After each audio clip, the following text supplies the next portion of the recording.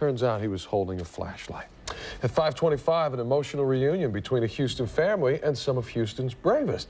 Last month, firefighters saved a mother and her two small children from their burning home. And yesterday, the family made a special trip to the firehouse to say thank you. Mm-hmm. Jennifer's in now with the story. Boy, it was it emotional. I had to just hold back and and think, wow, this is crazy. Well, it was emotional. The mom hugged the firefighters and she was in tears talking about everything that she remembered.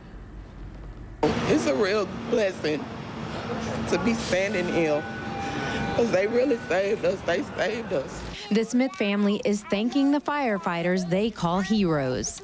They visited Station 19 to meet the firefighters that answered their call for help on February 11th. My daughter came in my room she was like, It's smoking, Mommy, it's smoking. That is when Shanae discovered her house was on fire. The space heater had caught on fire and it was like flames to the ceiling. In a matter of minutes, help was on the scene, but firefighters' hopes weren't so high. Shanae and two of her youngest children were trapped inside. Firefighters didn't think the Smith family would make it out of this smoke-filled house alive, but tried desperately to rescue them. The smoke started coming up. I could see a little bit more, and I saw two little feet sticking up in the air.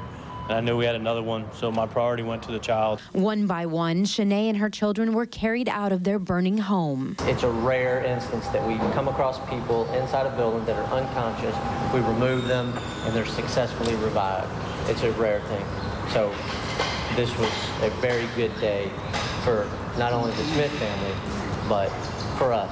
One of the best feelings I ever had. I, I thought they were, I didn't think they were uh, uh, viable victims. The Smith family wants our entire community to know they're here because of the work done by these brave firefighters. Coming in the house with flames everywhere, um, yeah, they're very brave because not everybody, you know, can do what they do. The family spent several days in the hospital in critical condition. Under the hot button at click2houston.com, you can find out how to get out alive if there's a fire in your home. Time now is 527. Local 2 Investigates has